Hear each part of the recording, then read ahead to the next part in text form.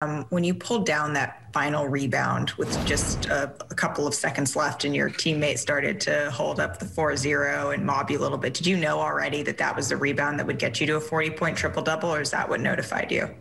Uh, no, I knew already. I had. I just didn't expect the ball to come right to my hands.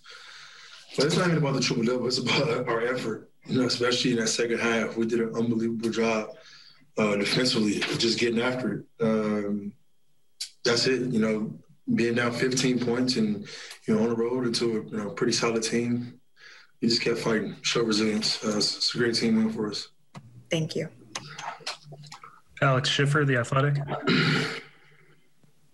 James, anything change for you guys offensively between halves? It seems like in the first half you guys were missing some bunnies, and but we're still getting good looks, and even from three, and then maybe just in the second half you guys got a more of a rhythm.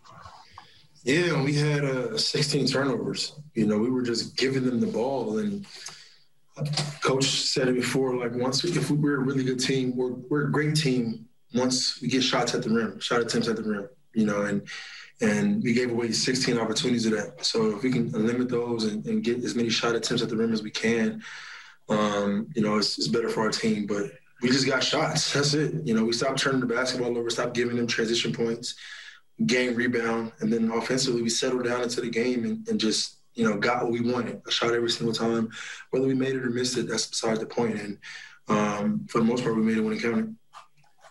Brian Lewis, New York Post.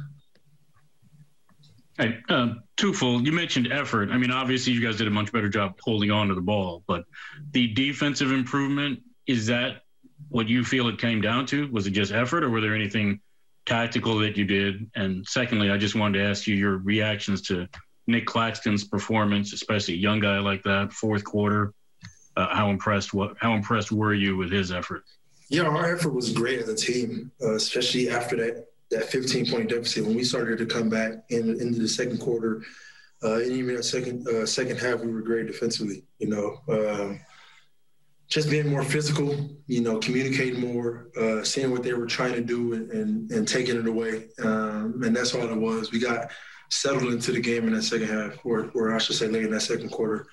Um, and then Nick has just been, he's just been giving us that energy, that young energy that we need off the bench, that, that spraying the floor, blocking shots, rebounding the basketball, catching lobs. Um, you know, I think at any time a player, especially, you know, as young as he is, who just goes out there and plays his butts off, great things happen for him. And then obviously, you know, myself and the vets are going to tell him places to be and defensively, you know, where to be and things like that. But just, you know, you can't teach effort, and he's been doing that an unbelievable job of doing that. And he's giving us that boost off the bench.